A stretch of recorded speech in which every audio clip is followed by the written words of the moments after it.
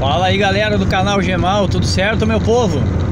Galera, o seguinte, cerrou o plantão aí, né? Hoje, dia 10 de fevereiro de 2019, já são 19 e 5, estou indo para casa.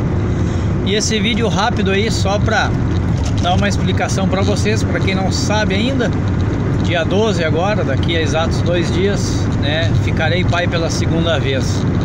Então meu meu mundo, além de, de azul, vai ficar rosa também com a vinda da minha filha, da Maria Luísa.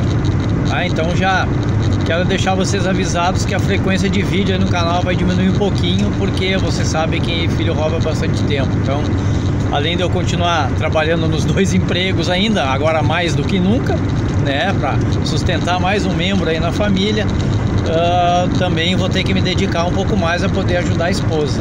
Né? Assim como eu fiz no primeiro filho, lá com o nascimento do Pedro, agora junto com a Maria Luísa, com o nascimento dela, agora vou ter que fazer também, ajudar bastante, tá? Aquele contato de pai e filho é, é importantíssimo.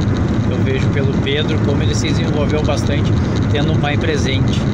Tá, gente? Então, só para deixar esse aviso para vocês, já peço desculpas aí, mas justificando o motivo de dar uma diminuída na quantidade de vídeos aí no canal, tá? E assim que possível, que as coisas se normalizarem, eu retomo a frequência de vídeos novamente. Tá, gente? Então, peço a oração de vocês aí para que dê tudo certo. Eu sei que o bom Deus vai querer que dê tudo certo, mas uma oraçãozinha a mais nunca faz mal. Tá, gente? Valeu então, muito obrigado por todos até hoje aí.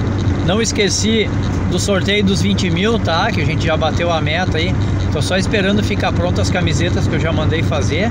Aí assim que eu tiver pronto as camisetas, a gente vai fazer uma live aí para eu explicar as regras uh, do sorteio dos 20 mil inscritos. Tá, gente?